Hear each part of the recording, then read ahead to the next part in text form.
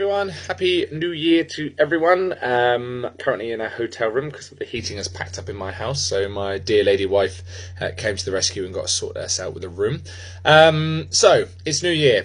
And I thought I'd give you till the afternoon before you hear my voice drone on. But uh, a little bit of advice as we move on. Um, we spoke to about this in the Therapy Thursday about uh, not glossing over um, previous resolutions and things that you wanted to get done.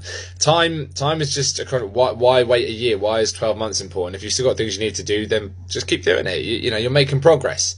And this is the key thing. Um, so really, we want to keep making progress rather than having to start from scratch again uh, and go from there. So while you're milling over today in the next coming days, I know it's sort of like almost middle of the week, but things that will probably help you uh, get to where you need to be. Start trying to do something constructive every day. It doesn't have to be anything big, it can be something as small as just writing down what you want to achieve on day one, which is today. So you may have a goal and idea, you might have a plan. Um, things that you can do today to make tomorrow easier. These things don't have to be massive. Remember what we said before, 1% change is so much easier than trying to change something by 10%. So each day, make it your little mission that by the end of the day, you've done something constructive to help you towards your goal. Uh, we'll use a weight loss, um, fitness, strength, whatever plan, gym wise, shall we say, uh, to start with. So if you make it your goal that you've got to drink two litres of water a day, that is a very small change you can make that will allow you to progress forward uh, in your day to day. For myself, uh, the way I made this work, I got inspiration from my auntie and her husband when I was in America.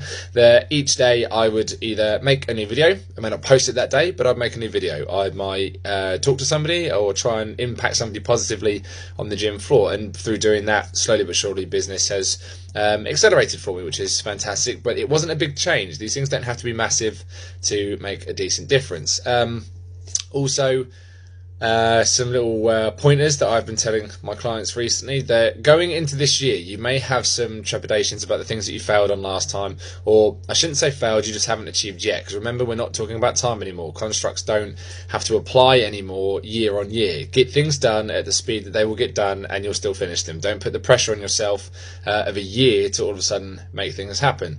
So, my little bit of advice to you is this. Uh, you may have heard of the term the glass half empty and the glass half full, um, be it pessimism and optimism. So the way I see it is this if you have a glass that is half empty, you must have taken something out of it. So look on that and find out whether it was good or bad and decide what you're going to continue to take out of your glass in the future. Obviously, you want to be more positive than negative. If you have a glass that is half full, then, well, you're still filling it up.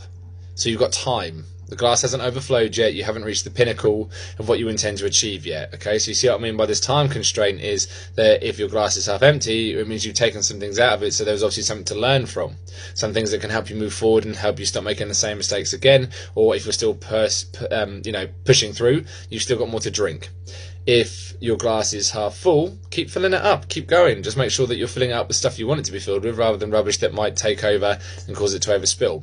And the most important one is for most of us, we should all just be thankful that we have a glass in the first place, be it half full or half empty. At least we have a vessel in which to contain whichever or.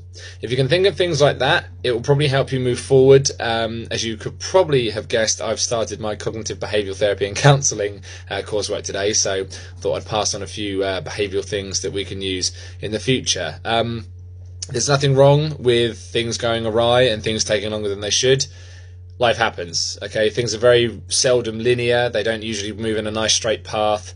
They go up and they go down. Case in point, just before, um, just after Christmas, my workouts went badly. Uh, couldn't make the progress I wanted to, so I, you know, didn't walk away. I just did the clever thing and let my head and body get back in the game. I'm taking time to do a bit more stretching, uh, making sure I'm a bit more limber in times of inactivity, and I can come back stronger and continue to fill my cup. So I took a little something out. I'm going to put a little something back in.